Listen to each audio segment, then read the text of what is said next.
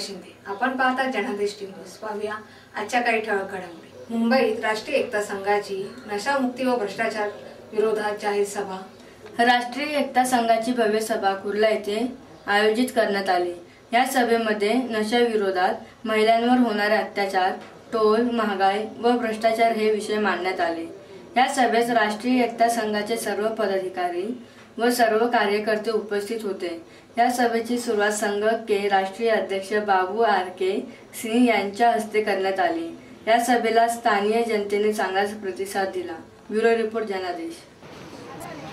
बोलना बहुत कुछ चाहती थी, वक्त नहीं है, और जो ये प्रोग्राम रखा गया, ये आप लोग के इंसाफ के लिए नौजवानों के रोज़गार के लिए और महिलाओं के सम्मान के लिए।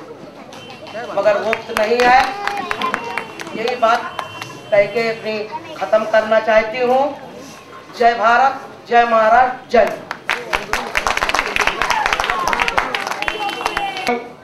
एक ऐसा संगठन है जो देश और समाज के लिए लड़ता है।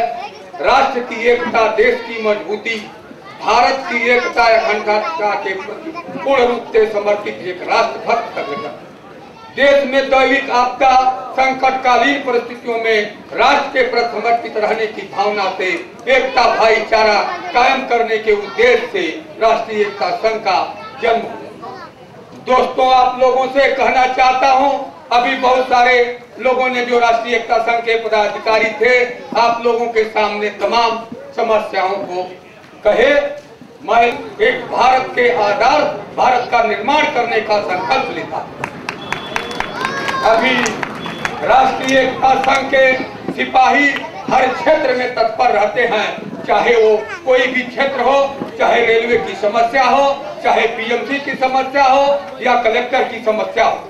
हर जगह, हर क्षेत्र में काम करते आ रहे हैं।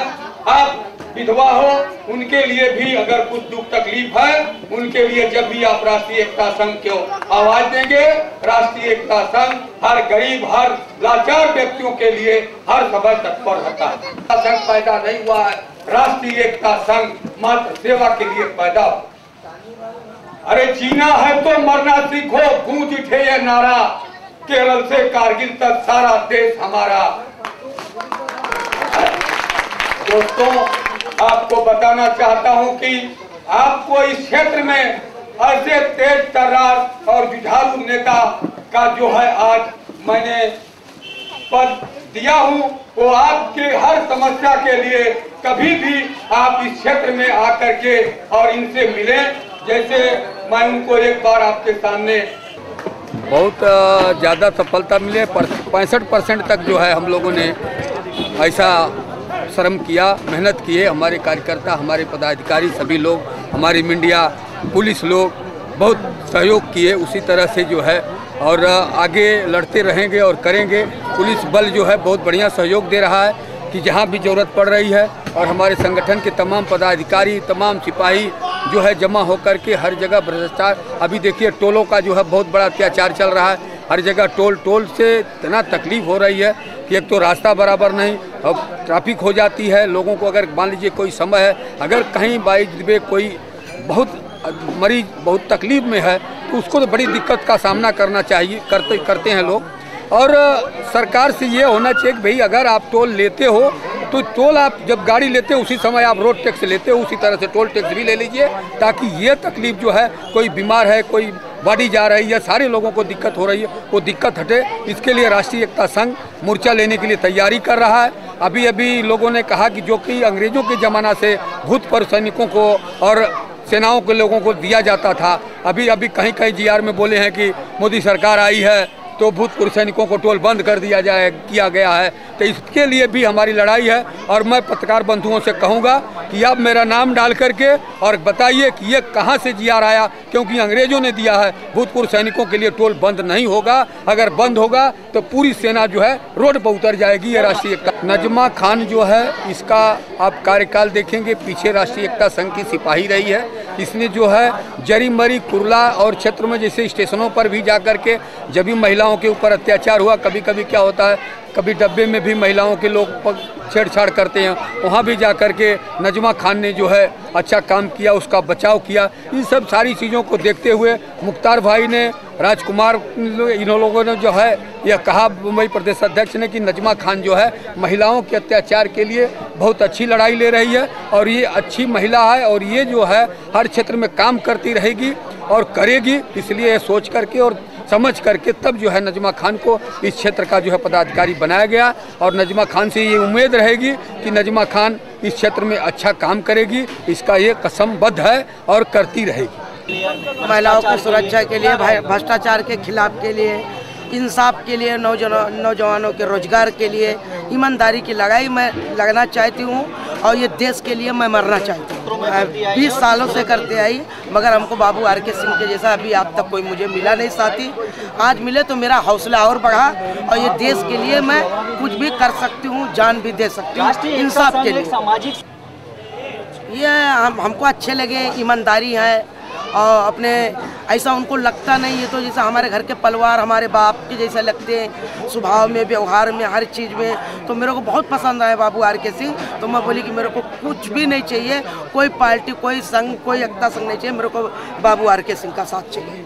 आने वाले दिनों में महिलाओं के लिए मैंने राष्ट्रीय एकता संघ की ताकत को लेके जिस तरीके से अभी महिला तालुका अध्यक्ष का निर्माण हुआ है तो महिला तालुका अध्यक्ष को लेके हम समाज में जो है महिलाओं के साथ जो अत्याचार हो रहा है महिलाओं के साथ जो अत्याचार हो रहा है तो महिलाओं के साथ क्या अत्याचार हो रहा है, एक महिला ही बता सकती है। इसके लिए हमारे राष्ट्रीय अध्यक्ष ने महिला यूनिट का भी निर्माण कर दिया इस तालुका में।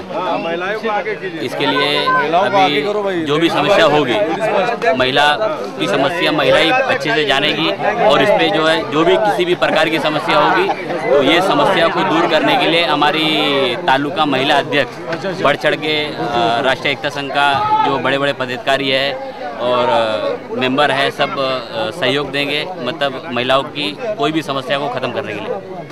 मेरा कहना ये है कि जो चीज़ें हो रही है, इसे कहीं ना कहीं रोकने वाला होना चाहिए। हम प्रशासन या पुलिस के चक्कर में जाते हैं, कब जब बलात्कार हो जाता है तब। लेकिन इसके पहले इसको रोकने के लिए कोई होना चाहिए। और वो मैं चाहता हूँ कि हमारे राष्ट्रीय एकता संघ के लोग राष्ट्रीय एकता संघ के जो लोग हैं, बाबू आर सिंह के नेतृत्व में, ये जगह जगह फैलें और जो ये गंदगियाँ हैं, इनको ख़त्म किया जाए। और आगे के लिए जरीमरी की बड़ी समस्याएँ, कुरला की बड़ी समस्याएँ हैं। इन सब समस्याओं के लिए हम लड़ना चाहते हैं। पब्लिक अगर एकता बताती है, हमारे साथ आती है तो हम उनके लिए दो बजे रात को भी तैयार हैं। नशा मुक्त पूरी बम्बई होनी चाहिए। महिला अत्याचार के विरोध में पूरी बम्बई होनी चाहिए।